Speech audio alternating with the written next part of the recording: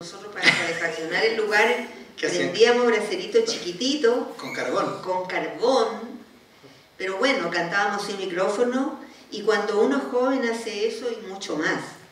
Entonces era un agrado cantar ahí, era un agrado que llegaran, llegaban todos los grandes artistas que venían a Chile, llegaban ahí pero directo y pasaban desapercibidos porque había poca luz.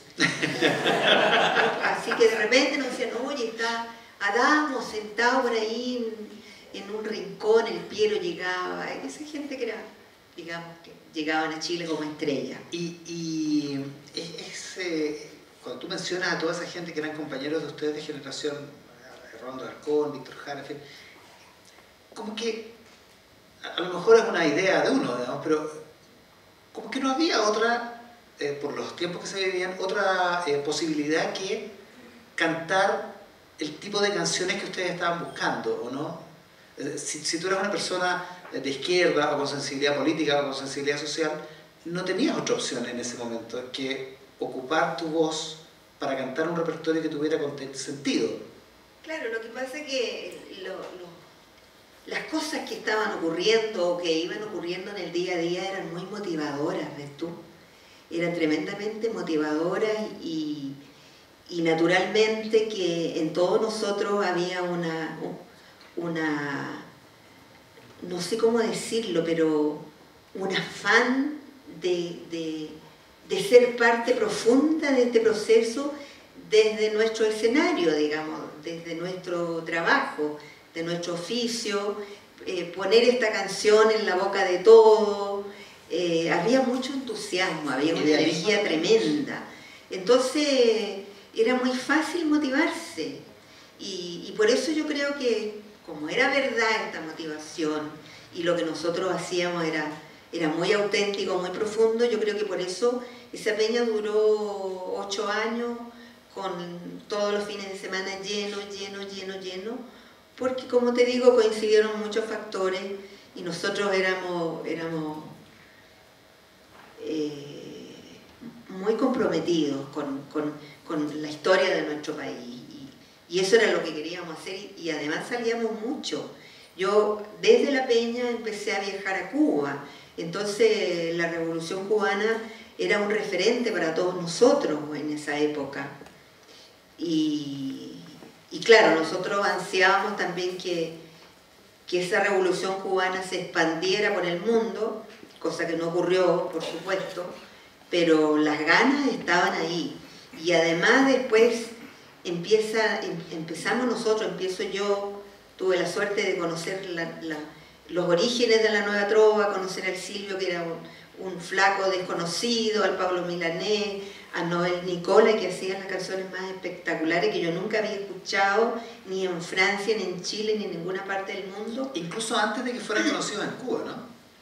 Sí, antes. O sea, Silvio había hecho un disco pequeño que era conocido, pero yo la primera vez que fui, Silvio no estaba en La Habana, andaba en ese viaje, en ese barco, y, se hizo ahí el primer festival de canción protesta, así lo llamaron los, los cubanos. Ese es el motivo por el que tú llegas a... Y así llego yo a La Habana por primera vez, a la Casa de las Américas, y ahí nos conocimos entre todos, o sea, conocimos los otros artistas que, andaban buscando lo mismo que buscábamos nosotros, que querían una América Latina diferente, justa, bella, como nosotros pensábamos que se iban a presentar las cosas. Entonces fue lindo ese encuentro porque ahí nos, nos, juntamos con un montón de gente que, que estábamos en la misma búsqueda en sus respectivos países y que nos gustaban los Beatles y que nos gustaban los hippies y que teníamos muchas cosas en común. Que para la ortodoxia de la izquierda de esa época era bien raro mezclar esos gustos, ¿no? Era muy raro en algunos, en, en algunos claro, en, algunas instancias de, de sectarismo, pero en realidad, mira, nosotros siempre hicimos lo que quisimos, pensamos lo que quisimos, dijimos lo que queríamos decir, cantábamos lo que queríamos decir siempre, a pesar de algunas eh, mentes sectarias, a pesar de algunas oposiciones, incluso dentro de los partidos políticos, nosotros nunca nos importó esa cuestión y seguimos adelante con lo nuestro y, y nuestro compromiso pasaba por, otras, por otros sentimientos, yo creo, por otros afanes, o a lo mejor yo era una militante soberbia, porfiada, no tengo idea, no creo, porque todavía los viejos me quieren, pero así era, era muy espontáneo todo, muy espontáneo y, y, bueno. Y, tú dices, conocimos estas canciones de, la, de, la, de, lo que se llama la nueva trova en, en, Cuba, que eran un tipo de canciones que, que probablemente nunca se habían hecho, digamos, que, que, que, era una cuestión bien extraordinaria porque en la nueva canción chilena también hay algo hay algo de eso, bastante de eso más bien. Eh, ¿Cómo es el momento en que llegas a grabar el repertorio, parte, eh, algunas canciones de Silvio Rodríguez para tu repertorio? Mm, mira, eh, cuando nosotros, cuando Allende sale presidente, nosotros formamos una, una delegación, el gobierno de Allende hizo una delegación cultural con el Quilapayún y conmigo. Ellos nunca dicen que yo estaba en esa gira, pero yo lo digo ahora, lo empezaba a decir. Una negación histórica de Eduardo Carrasco y los demás. Absolutamente histórica y permanente. Entonces él dice, nosotros fuimos, claro, y yo digo yo. Entonces hicimos una gira que duró varios cuatro o cinco meses. Para un grupo que te dedicó una canción como es El colmo que no dejen entrar a la Chabela, una... Claro, pero eso fue posterior, fue posterior. Además, esa canción también yo tengo reparaciones con ella, porque no dicen por qué es el colmo, no está resuelta esa canción. Ah, por un lado me echan flor y por otro lado no dicen por qué es el colmo que no me dejen entrar a mí. Falta resolver esa parte porque las canciones tienen un comienzo y un final. Esto deberíamos hablarlo alguna vez con Eduardo. Y hay que resolverla. Y Eduardo le carga que yo le diga eso. Porque es muy egocéntrico. Pero bueno, van a Cuba, que la Bayún y tú. Al final la, la gira era con el regreso por Cuba. El regreso por Cuba. Y, y yo llegando a Cuba, después de conocer La Era está pariendo un corazón, esas canciones, yo tenía una tarea que me la había puesto yo misma, que era conocer a Silvio Rodríguez. Eso era mi objetivo. Entonces empecé a preguntar, empecé a preguntar por Silvio Rodríguez, estaba en La Habana, pero yo me daba cuenta, y él lo, lo digo yo ahora, porque él ya lo dice, hace rato que lo dice, él era objetado, era rebelde, entonces eh, habían empezado a venir grupos cubanos para acá, eh, Carlos Puebla, eh, gente que, no, que hacía otro tipo de música cubana, que era muy bien recibido aquí. Pero existía esta nueva trova que estaba como oculta. Entonces, claro, era muy raro que yo llegara preguntando por Silvio Rodríguez, y, tenía una amiga, y la tengo todavía, la Estela Bravo, que es una americana que vive en Cuba, que trabajó en la Casa de las Américas, y que me decía, eh, ¿no quieres conocer mejor a Pablo Milanés?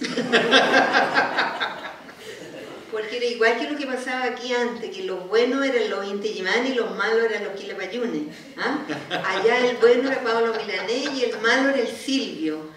Entonces yo no entendía por qué porque, había como, como, como, una manera de, que, de cambiar el tema mejor. ¿Y a ti te gustaba ver esta poniendo un corazón? Claro, y yo quería conocer al, Silvio, por supuesto que quería conocer al Pablo también, pero mi objetivo principal era Silvio. Entonces finalmente convenzo a la, Estela para que me lleve a la casa de Silvio. Y la Estela amorosa me lleva a la casa me dice ahí vive, pero yo me voy. y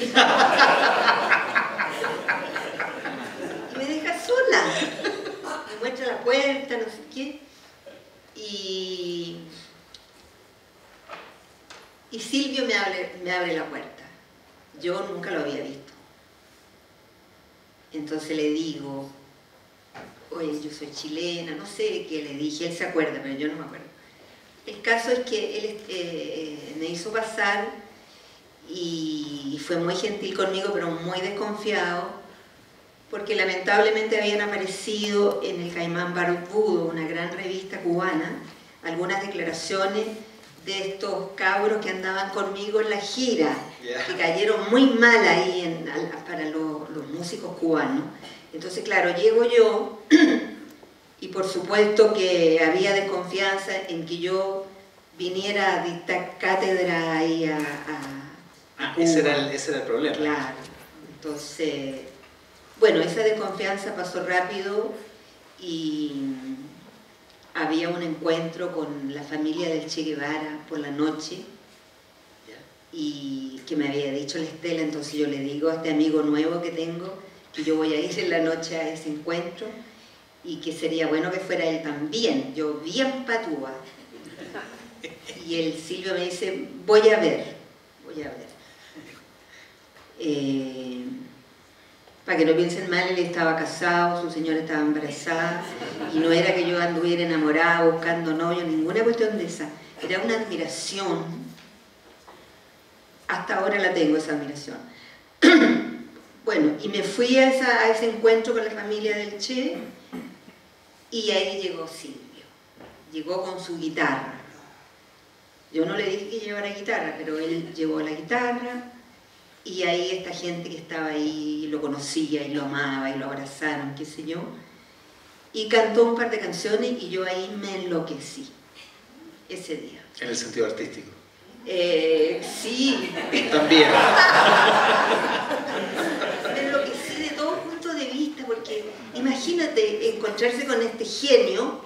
Yo me di cuenta que este gallo era un genio, pero me di cuenta al tiro y no solo eso, sino que pensé en una cosa linda, que pensé en Chile. Dije yo, cuando los chilenos conozcan estas canciones se van a enloquecer. Dime que no tenía razón. Toda razón.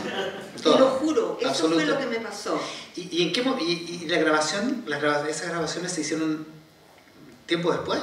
No, las grabaciones después, bueno, yo volví a Chile, eh, había, iba a haber un evento político, entonces yo hablo con la Gladys Marín, que era muy amiga mía, le cuento de Silvio Rodríguez, de Pablo Milanés, de Licay, de la Nueva Trova, y la Gladys iba a ir a Cuba, y yo le digo, tú tienes que invitar a los cubanos para acá. Así surge. Así surge. Porque es un viaje mítico, digamos, ¿no? Absolutamente, y la Gladys que tenía una, una visión tremenda, yo le mando unos regalos porque iban a hacer su, su guaguita, que le pusieron violeta, le mando un charango, ahí empezamos a ser amigos y así somos amigos hasta el día de hoy.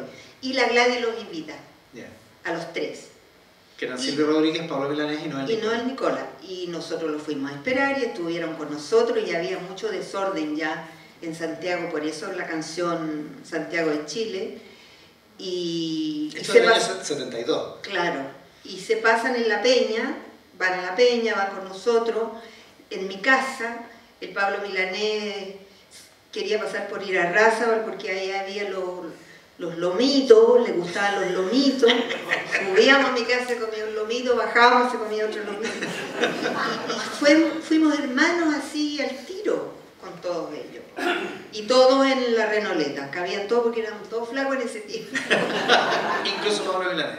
Incluso Pablo Milanés. Y esa visita es muy, em, es muy importante, porque no solo porque provoca hechos artísticos poderosos, particularmente en Silvio Rodríguez y en Pablo Milanés, que hacen canciones sobre Chile muy, muy, muy, muy importantes, em, sino porque también como que los hermana de alguna manera, y, y, hermana estos dos movimientos que son tan, tan poderosos en, la, en el cancionero popular latinoamericano, ¿no? Absolutamente, absolutamente. Claro, ese fenómeno eh, después tuvo ese desarrollo que todos conocemos y, que pasó todo lo que pasó y cómo se convierten ellos en, personajes importantes en el canto latinoamericano, importantísimo.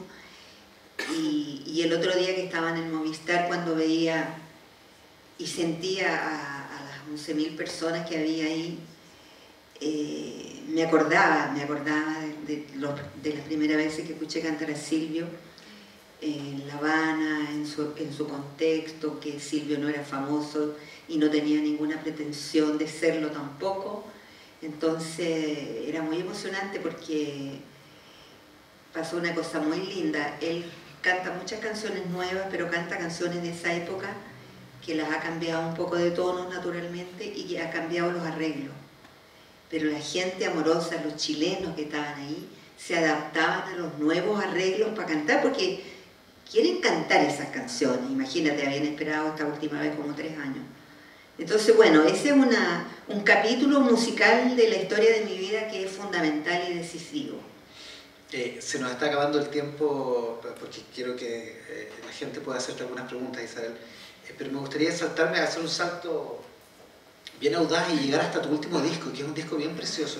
Supongo que algunos de ustedes lo han, lo han escuchado. es un disco muy lindo, pero es un disco que muestra además a una Isabel Parra que, no, no, sé si tú lo consideras así, pero es bien audaz en sus, particularmente en sus textos y en la, no solo en la ironía, sino en la incluso hasta en la mordacidad de los textos. ¿Tú lo sientes como una etapa distinta o sientes que es parte de la misma tradición que has, tenido siempre como autora? Sí, yo creo que es un salto a otra cosa. Eh, eh, eso, eso no es premeditado, pero sí buscando otra forma de cantar, otra forma de, no otra forma de cantar, sino que otra, canción en lo que yo soy. Porque soy yo la que canto, soy yo la que hago la música, pero como me metí en, unos mundos donde no había, donde no me había metido nunca, quería hacerlo, pero quizás porque no me atrevía o porque no sé qué, pero llegó un momento en que necesité hacer esas canciones, eh, que no son canciones de protesta ni ni nada de lo que yo he hecho, digamos, como, como comprometida o como, como, como las canciones, como tú lo dices, o sea, son otras canciones, mm. son otras canciones. Prácticamente todas tienen un comentario social, digamos, o de, Por supuesto, la realidad. Claro, es que tiene que ver con, con, con, eso también tiene que ver profundamente conmigo y como yo estoy viendo el mundo en este momento que es un mundo que siempre lo he visto distorsionado, pero que en este momento está más distorsionado que nunca, y me quise detener en eso, ¿cómo lo puedo hacer? ¿Cómo puedo transmitir esa angustia que yo tengo, como la tienen mucha gente, de, frustración, de, dolor, de pérdida, de, de miles de cosas que le pasan a una mujer cuando ya llegó a la edad en que yo he llegado, cuando se pone a reflexionar con los pies sobre la tierra, que creo que el Dinco trajo unos poquitos discos por si acá, con los pies sobre la tierra. Que es una estupenda oportunidad porque es un disco precioso. Y yo estoy contenta con ese disco porque eh, yo misma me, tengo que imponer una renovación en lo que hago también, porque si no, qué lata, quedarme pegada en lo mismo, yo no quiero eso. ¿Sigues componiendo el, de manera sistemática? No, no, no. Yo me pasa que después del disco, de haberlo presentado, de haberlo trabajado todo el año, el año pasado, eh, por suerte que puedo cambiar la radio, Iván. Entonces, en este momento no he compuesto nada. Saqué el 4 para ir a tocar con Silvio, no, no tengo ganas de componer ninguna cosa. Eh, lo último que compuse fueron unas cuecas que las mandé al Festival de Viña, que me fue mal, pero las voy a volver a mandar. porque soy reporteada, por eso. Entonces, sí, es un, es un nuevo disco, digamos, nuevo para mí también, y además la participación de un artista napolitano que está muy involucrado en mi música, que toca sus instrumentos, eso me, ha dado a mí una energía fuerte porque eh, necesito otros sonidos también para estas cosas. Eh, dentro de las, peticiones que, me hicieron está la posibilidad de que dedicáramos algunos minutos eh, del final de esta conversación para las preguntas que ustedes tengan. No sé si eh, yo no veo demasiado bien, pero ahí atrás que veo... Eh. Adelante. En cualquier momento te va a llegar un micrófono.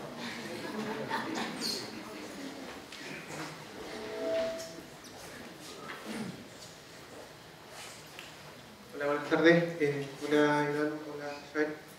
Tengo una consulta con respecto, porque yo eh, nací escuchando los vinilos de, los papas, de la Peña de los Papas. Yo no conocí eh, no, fui, no asistí a la Peña del Parque, pero crecí con todos los vinilos. Entonces, y es como otro, otra historia y, leyenda el tema de todos esos vinilos que se crearon en esa época. Entiendo que también partieron por la Peña de los Parras.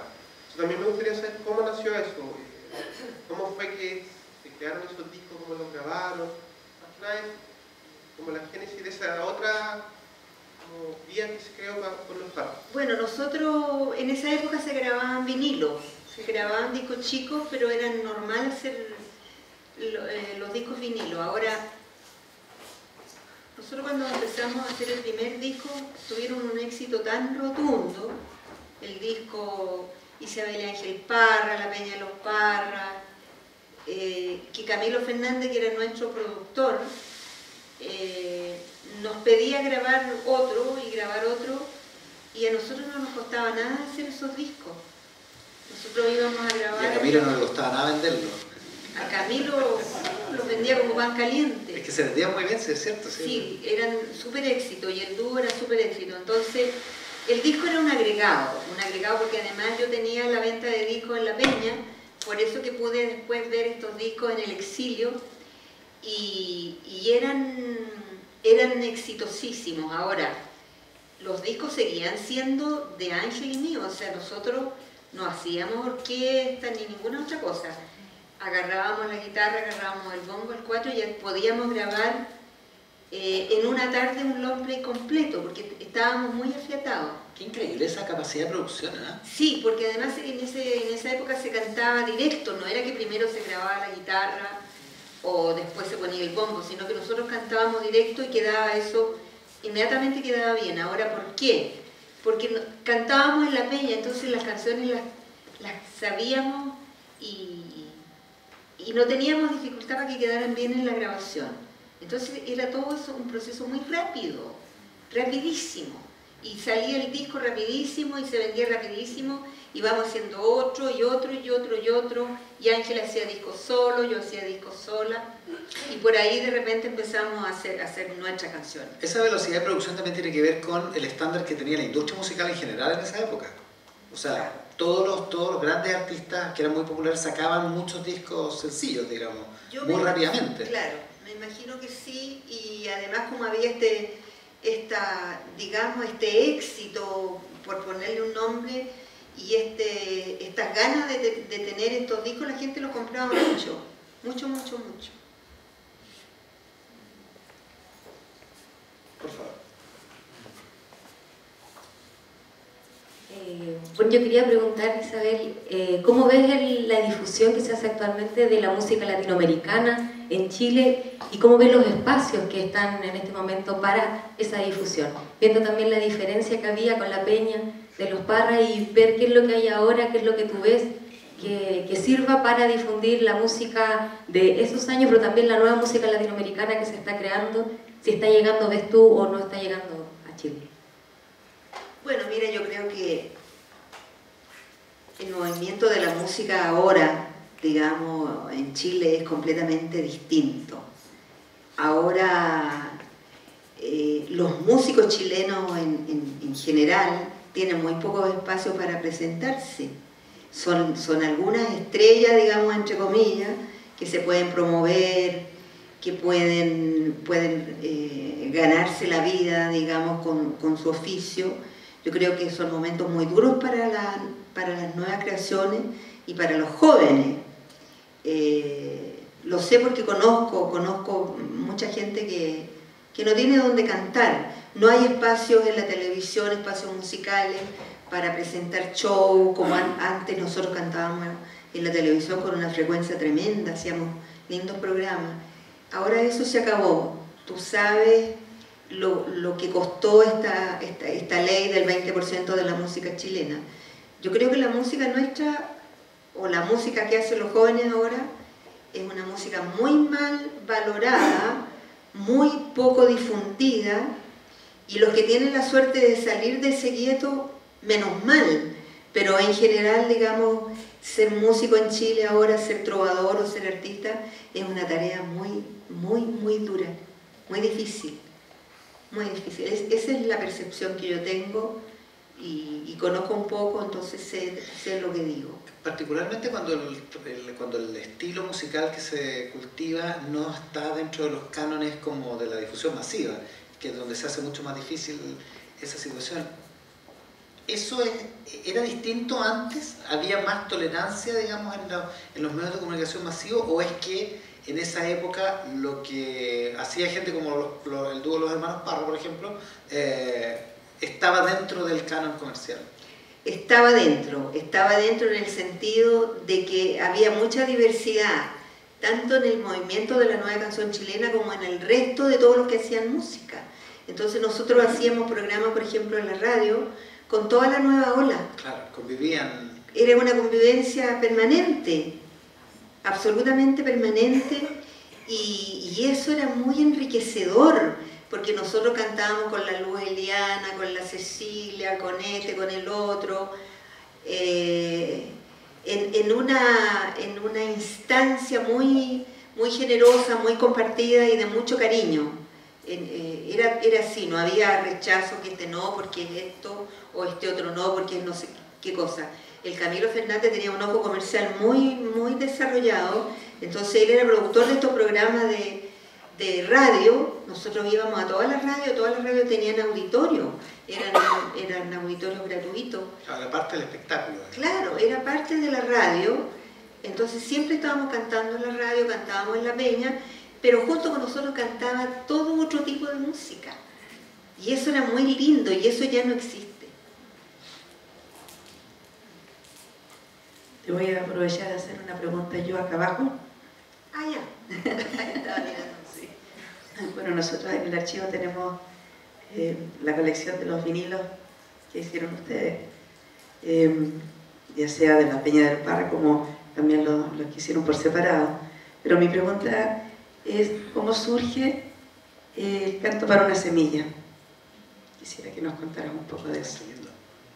Bueno, el canto para una semilla es una obra de Luis Advis, que ustedes conocen, ¿no es cierto? Que eh, el, Luis Adi fue uno de los primeros músicos, digamos, de, la música docta, que abandonó, que no abandonó, pero que, se, integró a este movimiento de música popular, porque era muy amigo de los, de los, de los nuevos grupos, de la nueva canción chilena, del Quilapayún, del Inti Gimani, de, de otros también.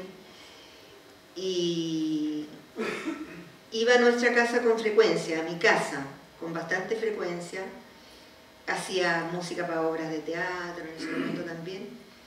Y en un momento, en, una de las reuniones sociales que tuvimos en la casa, él me pregunta a mí si, si a mí me gustaría que él adaptara las, las décimas de la violeta de tal manera como lo hizo.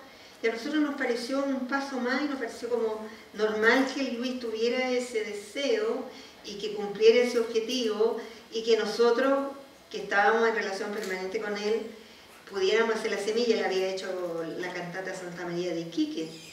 Entonces nos pareció que era parte de la amistad eh, hacer ese proyecto y, parte del cariño que él sentía por la Violeta y además eh, era una, una, manera de meterse en una obra que ya no era una canción, ¿ah? era una obra una cantata prácticamente que hacía este músico, pero con todos los elementos de la música popular, con una voz mía, que no era una voz de conservatorio, no era una voz lírica, que era una voz popular, que se prestaba para ese tipo de música y que entre paréntesis a él le gustaba mucho que yo cantara.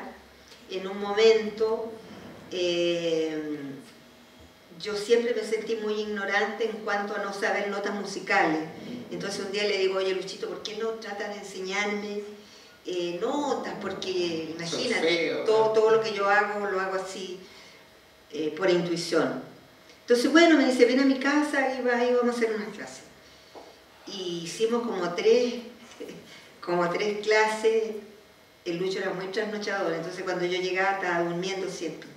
Así que había que esperarlo. Y un día me dice, mira, me dice, en realidad estamos puro leseando nomás aquí, porque ¿para qué vas a aprender música? Si tú te aprendes todo y, tienes todas las posibilidades de seguir cantando, estás haciendo canciones, así que yo creo que no tienes que aprender, me lo dijo él.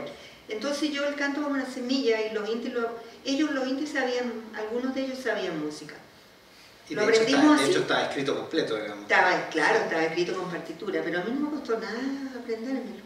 Entonces surgió así, espontáneamente, de una manera sencilla, y alcanzamos incluso a ensayar y, y a, y a estrenarlo unas dos o tres veces, y después pasó lo que todos saben, y volvimos a montarlo afuera.